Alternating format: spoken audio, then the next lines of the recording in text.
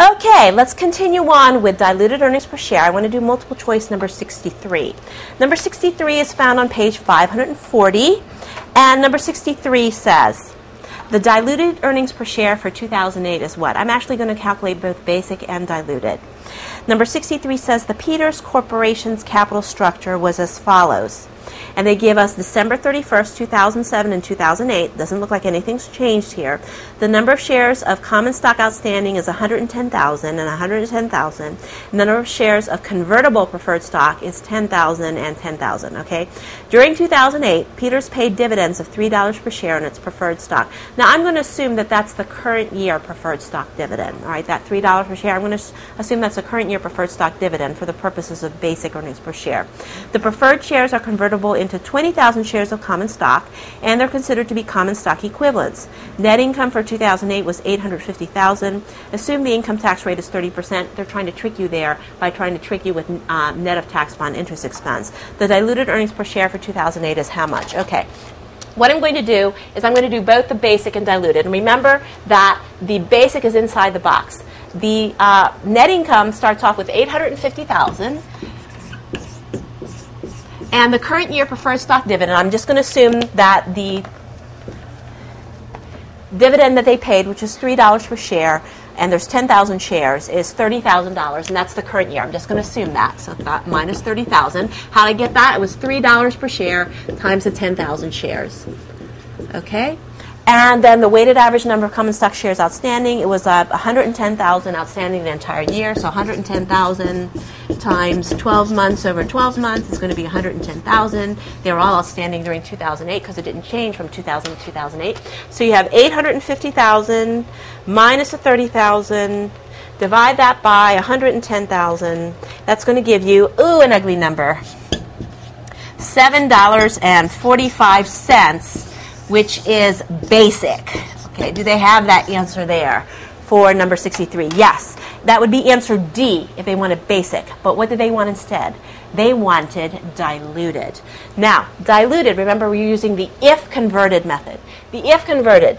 If if we had converted all that convertible preferred stock into shares of common stock, see, I had a question mark up here, we would not have to pay this. And the reason we wouldn't have to pay it, there would be no more preferred stockholders. They would just be common stockholders. So this then would become minus zero the current year preferred stock dividend for the purposes of diluted earnings per share would go away.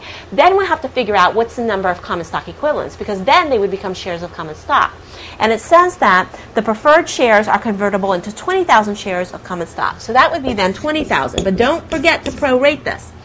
Was the 20,000 shares, were the convertible preferred stock, was that outstanding the entire year? Yes, it was because it went at, from December 31st, 2007 to December 31st, 2008 was 10,000. It didn't change. So I know that this was outstanding 12 months over 12 months, so that's 20,000. Don't forget to always weight it. So your common stock equivalents are 20,000.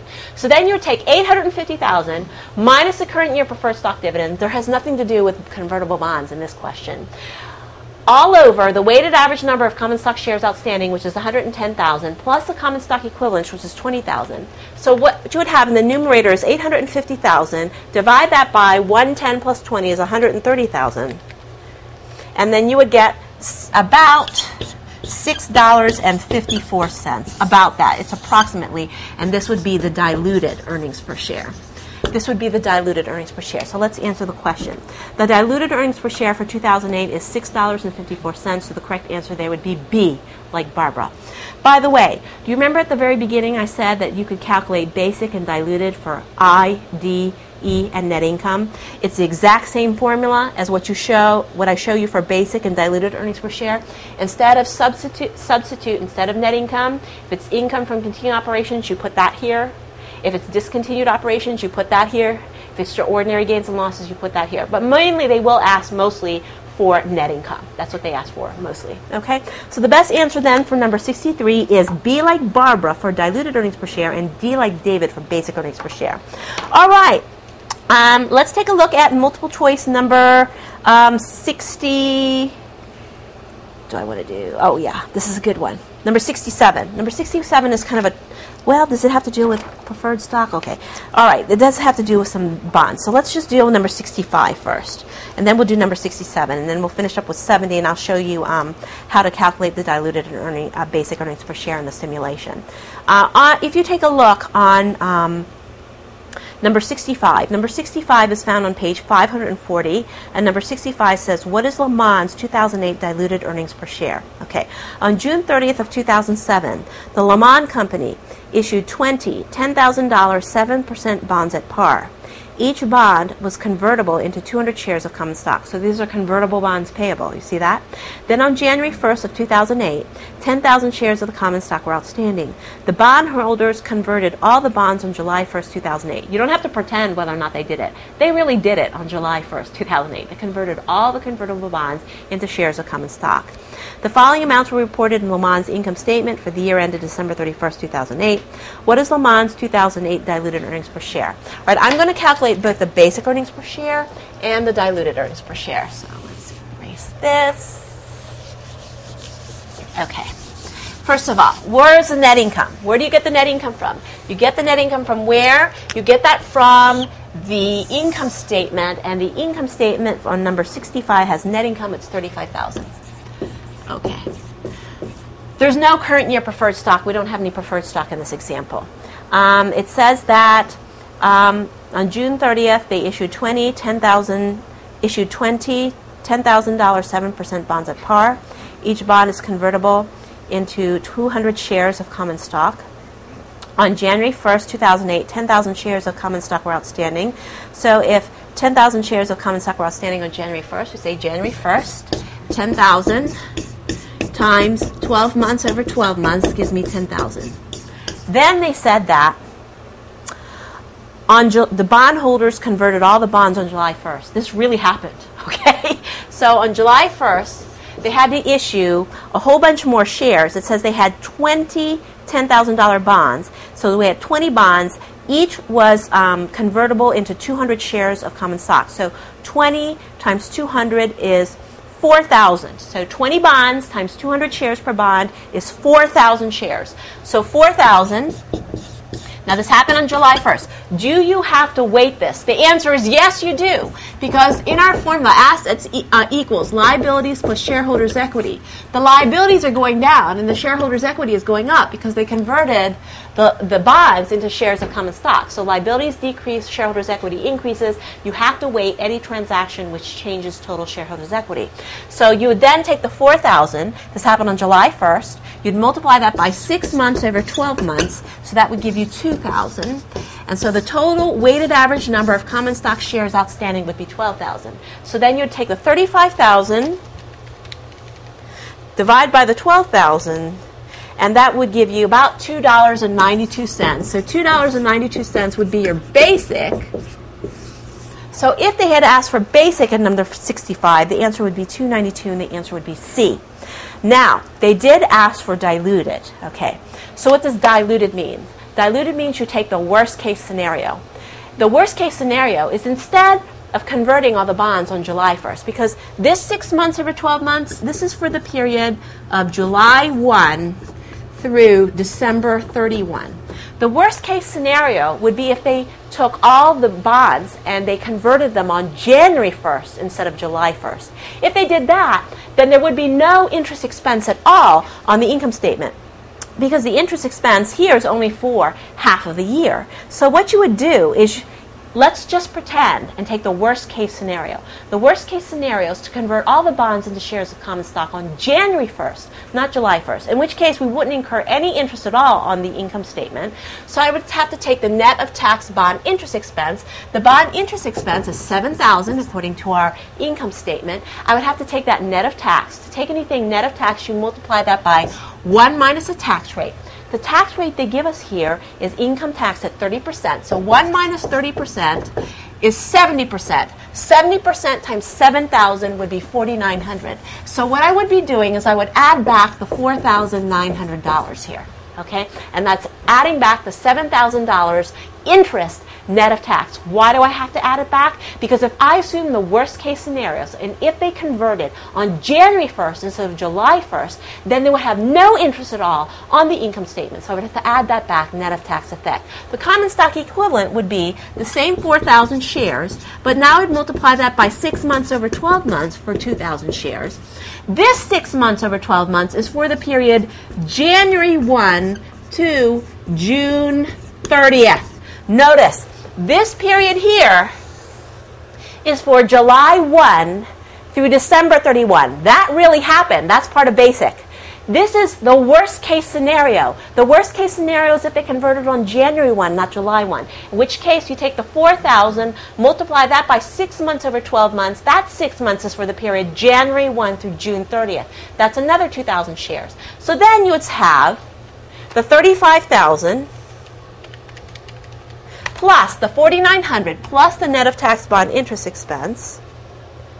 Divide that by 12,000 plus the other 2,000 for common stock equivalents, which is divided by uh, 14,000. That would give you, ooh, that did not turn out right, 35,000 plus 4,900. Divide that by 14,000. I got 285. $2.85 would be my diluted earnings per share. So let's see if we can answer the question. So, for number 65, they want to know what is Lomond's 2008 diluted earnings per share? The best answer for diluted earnings per share is $2.85, which is 35,000 plus 4,900, which is 39,900. Divide that by the 12,000 plus the 2,000 common stock equivalents, which is 14,000, gives you $2.85. The best answer is B, like Barbara. Had they asked for basic, the answer would be C. By the way, diluted earnings per share has always got to look worse, okay? If you have basic and diluted earnings per share, and diluted is looking better than basic earnings per share, that is not allowed. Diluted has always got to be worse. Look, basic, all right? is 292. So the basic is 292, all right? If something's going to look weaker, if it's going to be diluted, it's going to look worse. What would make it look worse is if it's lower. Look at diluted earnings per share. Diluted earnings per share is 285. That's what you want to see. You want to always have basic be higher and diluted be lower. If it's the opposite, if diluted, see how it's 285, it's 7 cents less? Not that much, but it's still less. The thing is, is if you have diluted looking better than basic, no, no, no, that's not allowed. In that case, basic and diluted would be the same. Okay, in that case, basic and diluted would be the same. When can this happen? This happens oftentimes, which instead of a net income, you have a net loss. And what happens is that if you have a net loss, when you have the number of shares in the denominator go up because of the common stock equivalents, then the loss per share goes down, okay? When you have diluted earnings per share. You're not allowed to show that. So especially be careful instead of a net income when you have a net loss situation. In a net loss situation, basic and diluted have to be equal because in diluted earnings per share, when the denominator, when the number of shares goes up, you cannot have earnings per share looking like a smaller loss, okay? That won't, that won't happen, okay? So remember that basic here is going to be higher, and that it's 292, and then the diluted is lower, and that's the way it's supposed to be. All right. So basic, the answer is 292 is C. Diluted, the correct answer is answer B. Okay, um, just a couple more multiple choice questions. I want to show you multiple choice number 67. Number 67 is kind of tricky because it's like a theory question. You know, you know, quite frankly, when you have uh, computational questions, you can sort of like back into the right answer with using your calculator, you know. But it's a theory question. You're, you're yes, S O L. You either know it or you don't. Number 67 is uh, it goes on from page 540 to page 541. So we're going to take a look at number 67. Number 67 says, in determining diluted earnings per share, the dividends on non-convertible it's not convertible. Okay, the dividends on non convertible preferred stock should be what?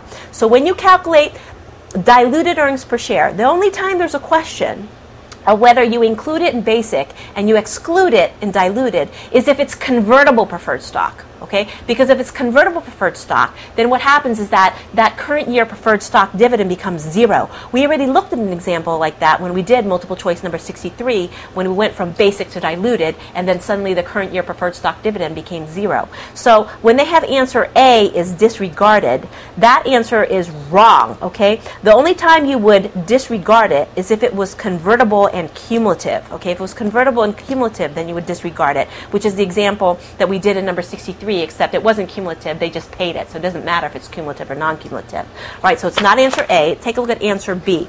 Do you add this back to net income, whether declared or not? Now they're trying to confuse you between convertible preferred stock and convertible bonds. No, the interest would only be added back net of tax effect if you're talking about convertible bonds. We are not talking about convertible bonds here. We're talking about non-convertible cumulative preferred stock. Let's take a look at answer C. Do you deduct it from net income only if you declare it? No. You only worry about whether you deduct it or you don't de- deduct it if you're talking about non-cumulative preferred stock. Non-cumulative preferred stock. This says that it's cumulative. It's cumulative. So that only you only have to worry about do I deduct it or I not deduct it. It's always based on whether it's declared or not declared. That has to do with whether it's non-cumulative preferred stock. All right? So then you have to worry about declared or not declared. Here they're already telling you that the preferred stock is cumulative. Then answer D says you deduct it from net income whether you declared or not. That's true, okay? Because this is non-convertible cumulative preferred stock. The only time that that current year preferred stock dividend would be subtracted in basic, all right, but you leave it as zero in diluted is if it happens to be convertible preferred stock. Here they're telling you it's non-convertible, so no matter what, you're going to have to pay it because you can't convert it into shares of, of, of, common stock. So the best answer here would be D, like David, because it's non-convertible cumulative preferred stock. The correct answer is D, like David. Now remember, the way I just did the expl- explanation, that's the way you're going to have to study this question you have to think to my, yourself, when would I do answer B, add back to net income, whether to declare it or not? That has nothing to do with preferred stock. That has to do with convertible bonds, net of tax effect. Okay, you have to think about it that way. That's the way you study these problems. All right, there's just a couple other things that I want to point out to you before I do the um, simulation. A couple things that I want to point out to you are. um, on the bottom page 527 at the bottom page 527 at the very very bottom page 527 they talk about contingent issuances of common stock. In the contingent issuance of common stock also mentioned are contingent issuances of common stock at the bottom page 527 for example stock subscriptions. If shares are to be issued in the future with no restrictions on their issuance or other than the passage of time then they are to be considered issued and treated as outstanding in the computa- computation of diluted earnings per share. So, if all that has to happen is time has to pass and these people are going to get their shares, then you're going to include it automatically for diluted earnings per share. You would never include it for basic earnings per share. Okay, let's take a look at page 528. Okay. Um, other issuances that are dependent upon certain conditions being met are to be evaluated in a different respect. I'm at the top of page 528 now. SFAS number 128 uses as examples the maintenance of current earnings levels and the attainment of specified earnings increases. If the contingency is to merely maintain the earnings levels currently being attained, then the shares are considered outstanding for the inter- entire period and considered in the computation of diluted earnings per share, per share if the effect is dilutive. If the requirement is to increase earnings over a over a period of time, then diluted earnings per share computation should include those shares that would be issued based on the assumption that current amounts of earnings will remain unchanged if the effect is diluted. Okay, what are they talking about here? This is what they're talking about. Oftentimes, company A wants to buy out company B. Company B will say, We're not letting you buy us out unless you really give us a darn good deal. And the darn good deal was, Let us buy you out and in three years, we're going to give everybody 10,000 shares. Okay. If that in three years, we're going to give everybody 10,000 shares, and all they have to do is wait for the passage of time, then that 10,000 shares is automatically included in there. Okay. However, if they say, we will give you 10,000 shares as long as our earnings increases by 20%, or our revenues increase by 50%. Then you would not include those unless you actually achieve that in years one, two, and three. And then you would include it in diluted earnings per share for calculation for year one, year two, and year three. If you actually achieved that threshold. Okay, but if it's just based on the passage of time, you automatically include it. Okay, let me show you. Oh, one other thing on page 528, the bold print. Right above the letter M, which says corporate bankruptcy, earnings per share on comprehensive income and other comprehensive income components. Remember that on page 128, for our multiple step income statement, that's really a statement of earnings and comprehensive income. Earnings per share for comprehensive income and other comprehensive income is not required. It says EPS numbers below net income are not required by standard 130 for comprehensive income components. Remember, earnings per share is only required for income from continuing operations, discontinued operations, extraordinary gains and losses, and net income. ID E net income. Okay, let's take a look at a multiple choice question. I believe I want to do is number 70. Okay. Um, number 70 is found on page 541. Number 70 on page 541 says, for contingent issue agreements requiring the passage of time or an earnings threshold that is met before issuing stock, these should be included in. Should you ever include contingent shares in basic earnings per share? No. No, it only is a factor in diluted earnings per share. So for the first column, included in basic earnings per share, the answer would be no. Do you include it in computing diluted earnings per share? Well, the answer is it depends. If it's just based on the passage of time, yes, you include it. If it's based on a achieving a certain threshold, like reaching a certain threshold of earnings, did you meet the threshold? And it does say the earnings threshold is met, in which case the answer then would be yes for included in computing diluted earnings per share. So the answer there would be no and yes. The correct answer would be B, like Barbara for number 70. Now, through the magic of video, what I'm going to do is I'm going to erase the board, I'm going to come back, and I'm going to solve the simulation problem. So we're going to be working on next simulation number two. So I'll see you back. Okay, through the magic of video, I have halfway solved this problem. Beginning with simulation problem number two on page 546, let's read the situation. I'm on page 546, starting with simulation problem number two. The situation is that the M Corporation has incorporated in 2007. During 2007, the company issued 100,000 shares of $1 par value common stock for $27 per share. During 2008, the company had the following transactions. On January 2, 2008, they issued 10,000 shares of $100 par value cumulative preferred stock. The preferred stock is convertible into five shares of common stock and it has a dividend rate of 6%. So this is cumulative convertible preferred stock. It was outstanding the entire year because they issued it on January 2nd of 2008. Then on March 1st, 2008, they issued 3,000 shares of common stock for legal services. The value of the legal services was 100,000. The stock is actively traded on a stock exchange. Okay. On July 1st of 2008, they issued 40,000 more shares of common stock for $42 per share. So you have to weight that. You have to weight the March 1st, you have to weight July 1st. Of course, um, they had 100,000 shares from the beginning of the year, from last year, so that was 100,000 as, as of January 1st, 2008. Then October 1st, 2008, they repurchased 16,000 shares of Treasury stock at $34 per share. They used the cost method. On December 1st of 2008, they sold 3,000 shares of Treasury stock. And then, and you have to weight that too, so you have to weight the October 1st purchase and the December 1st sale of treasury stock because they changed total shareholders' equity with those with treasury stock transactions. Then on um, December 30th, they declared and paid a dividend of 20 cents per share on common stock, and then the 6% dividend on the preferred stock, which it wouldn't matter anyway because it was cumulative preferred stock, so you'd have to take the dividend anyway in the basic earnings per share. Then during 2007, they had net income of 250,000 they paid dividends of 28,000. During 2008, M Corporation had net income of 380,000. Okay, so how do we solve this? After you read the situation, if you go to page 547, you have the calculation for the basic earnings per share and they have the calculation for the diluted earnings per share. I already started the calculation for your basic earnings per share. When you have your calculation for your basic earnings per share, okay, so through the magic of video then, we have the calculations all done for you for the basic earnings per share. You take your net income, which is 380,000. You're going to subtract the current year preferred stock dividend. You're automatically going to subtract this because it's cumulative preferred stock. Don't wor- worry about whether it's convertible or not convertible because we're just doing basic right now you're going to have 10,000 shares of the cumulative convertible preferred stock. You're going to multiply that at $100 par value per share, and then multiply that by 6%, which is the interest rate on the convertible cumulative preferred stock. That's going to give you $60,000 as your current year preferred stock dividend. You subtract that from the 380,000, so that's going to give you a numerator of 320,000. Then, to calculate the weighted average number of common stock shares outstanding, on January 1 of 2008, you start off with 100,000 shares. That was left over from 2007. You multiply that by 12 over 12 because they were outstanding all during the year. That's 100,000.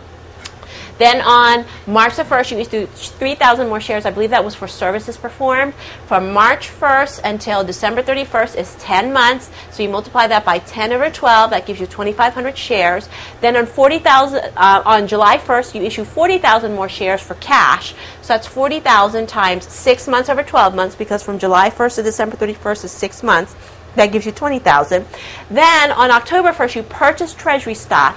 16,000 shares of treasury stock. Remember, that would decrease your, your shareholders' equity. The reason is because you're debiting treasury stock, you're crediting cash, your assets are going to go down, so your shareholders' equity is going to go down. So that would be a subtraction. 16,000 shares times from October 1st to December 31st is three months, times three months over 12 months, which is one fourth. One fourth of the 16,000 is minus 4,000. Then on December 1st, you resell 3,000 shares. Isn't that right? Yeah uh, December 1st, you sold 3,000 shares of the treasury stock. So 3,000 shares times one month over 12 months, because from December 1st to December 31st is one month. So 3,000 times 1 over 12 is 250. So you take the 100,000 plus the 2,500 plus the 20,000 minus the 4,000 plus the 250 is going to give you 118,750 as your weighted average number of common stock shares outstanding. It's a 118,750. If you take 380 minus the 60,000, that's 320,000. 320,000 divided by 118,750, that's going to give you $2.69 for your calculation of your basic earnings per share. Now, what about for the diluted earnings per share? Well, if it's diluted earnings per share, then what's going to happen is that this is going to go away. And the reason is because this current year preferred stock dividend is for cumulative convertible preferred stock. So if we assume if these were converted, that becomes zero because they no longer get a preferred stock dividend because they now become shares of common stock, okay? And they go in their common stock equivalents. Now, the common stock equivalents would be if you go back to page 546, they issued 10,000 shares of $100 par value cumulative preferred stock. The preferred stock was convertible into 5 shares of common stock and has a dividend rate of 6%. So if they have 10,000 shares shares, and each share of cumulative convertible preferred stock can become five shares of common stock, then you say, say, 10,000 times five, all right, it's going to be 50,000. So that becomes 50,000, and you still have to weight this. Remember, this happened on January 2nd of 2008 when they issued the convertible preferred stock. So this is issued all year long, okay? So it's outstanding all year long. So you're multiplying that by 12 months over 12 months. So that becomes 50,000 for your common stock equivalents.